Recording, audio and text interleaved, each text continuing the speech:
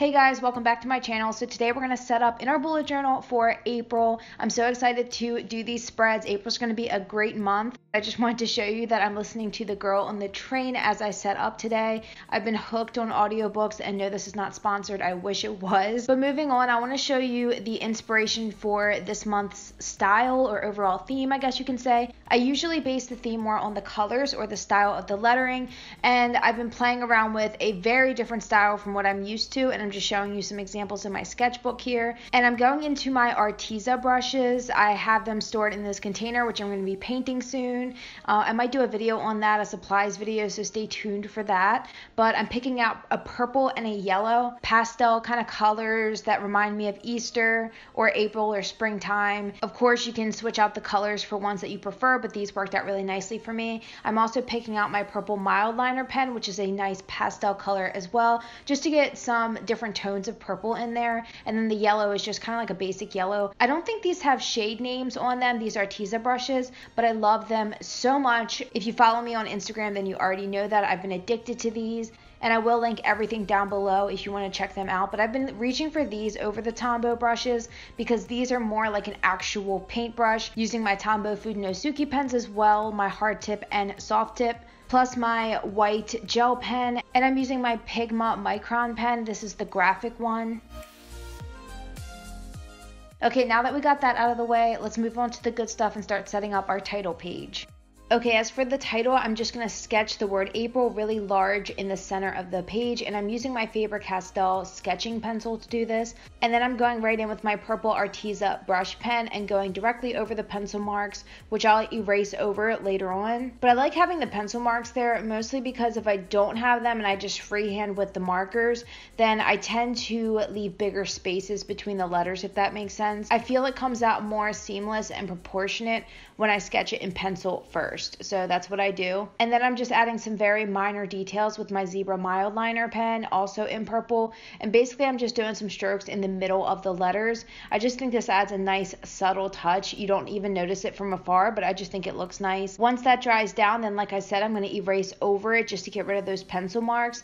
And then I'm picking up my Pigma Micron pen, the graphic one that I mentioned earlier, and I'm just adding some shadow effects very lightly. I'm not making thick, bold strokes or anything. I'm just adding slight shadows just to make the letters kind of look like they're jumping off the page. And then after that, just to further that three-dimensional kind of look that I'm going for, I'm using my white gel pen just to add some lines and dots at the bottom of the letters. It just adds the highlight very easily. And then I'm happy with how the title looks, so I'm going to go in as usual, do my calendar right below it, just like a quick reference kind of calendar.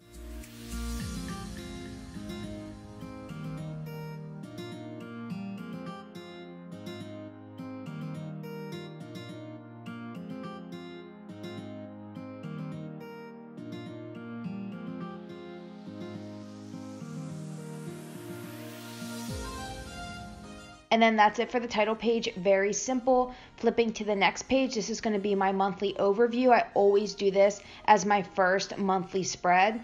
And I'm doing similar letters as I did for the title and going in with the same materials.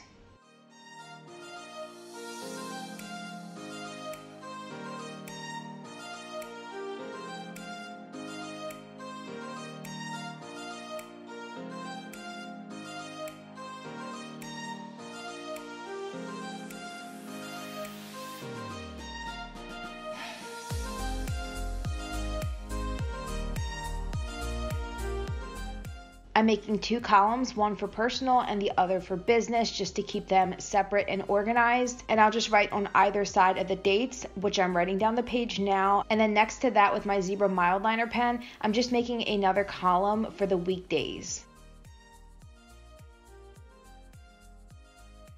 Going in with my yellow Arteza marker. This is going to be more of my accent marker, but I'm going to use it for the titles as well. You'll see as we go along, but I'm just going to go over the words personal and business just to make those stand out and kind of blend in with the theme a little bit better.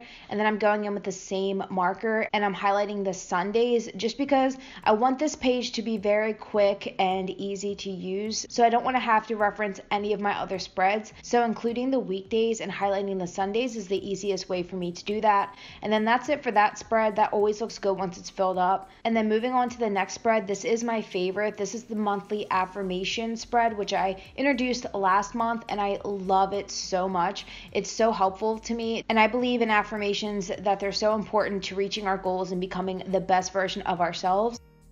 So, yes, I do need the whole page to do that. I want it to stand on its own and I can also add to it. It can be a whole page long and I'll just read it every day. And lately it's just been my favorite spread.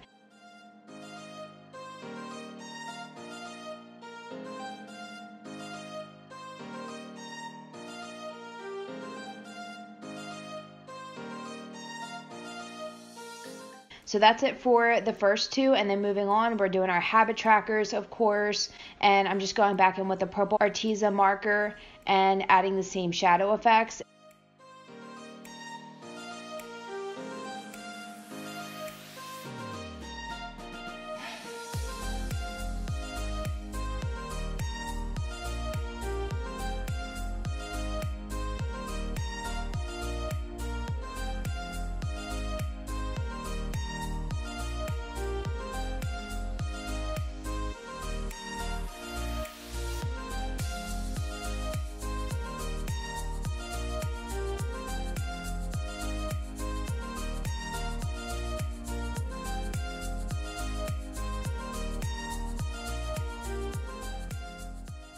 I like to section these off by category. The first one's going to be productivity, the second one is health, the third one is clean, and the last one is mind.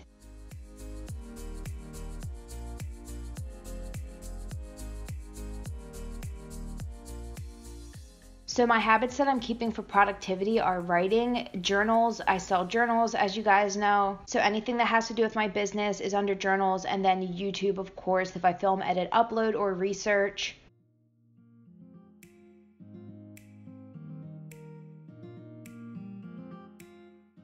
Under health, I have eating clean, exercise for my dog, which is very important to me, and then Pilates, which is my favorite form of exercise.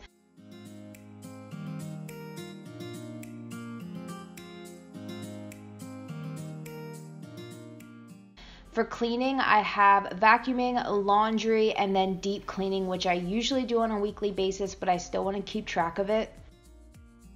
Keep in mind that for this spread, you don't always have to do just daily habits. You can include habits that you intend to keep on a weekly basis, for example, or just an occasional basis, even. Or as you'll see under the mind category, I have gratitude, affirmation, and deep breathing, which are habits that I should be doing multiple times per day, to be honest. So, another idea for you guys is to make categories like I did, only have some be daily, some be weekly, and some be occasional. I think that's a really good good way to stay organized as well. But enough about the habits, moving on to the mood tracker. I'm sticking with my same format that I've been doing for a long time. I love this format and it's been working great for me. And if you haven't seen my other videos, I'll just do a quick explanation.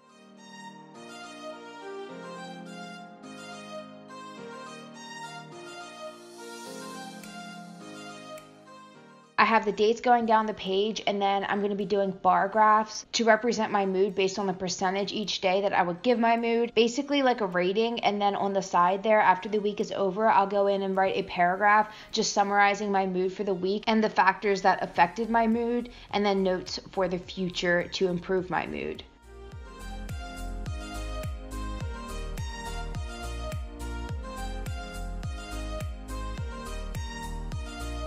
Next up, we have something I'm carrying on from last month as well. This is my daily wellness tracker. And I love this because I've been having a lot of issues with my sinuses and allergies and just feeling really lightheaded or nauseous frequently from allergies. So I want to keep track of exactly how often I'm feeling bad. So when the month is over, I can make observations based off this with my other trackers to see if there's any patterns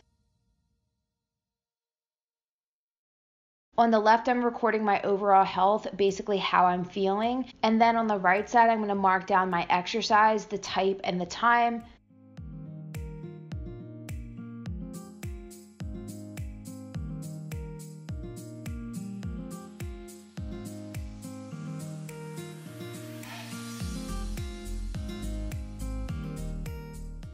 The next spread is a new one that just came to me. This is going to be my profound thoughts spread and anything that I want to maybe research at a later time or anything that I learn or just anything that's been on my mind a lot, I'm going to write down on this spread. And I think it goes really well alongside my daily wellness tracker. Last month I did a intermittent fasting tracker, which worked out pretty well for me, but I noticed that it was pretty much the same every day because I've been following intermittent fasting pretty religiously. So so I didn't think I needed to carry that on to this month because I have a handle on it pretty well now. So I thought that the Profound Thoughts one would be a fun new one to incorporate into my routine.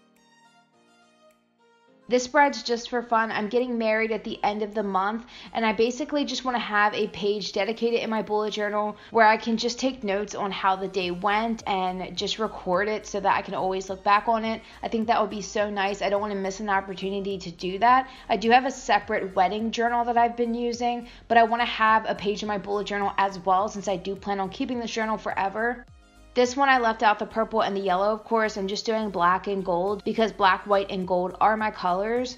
So I'm so excited to fill out this page. And for the page next to it, I wanted to think very carefully what I would want next to a page like this. And although I don't love the colors next to such a kind of simple, classy page, I still think it ties in with the month perfectly. And as I fill up these spreads, they always end up looking better. So I know this will come together perfectly later, but this is going to be my gratitude log.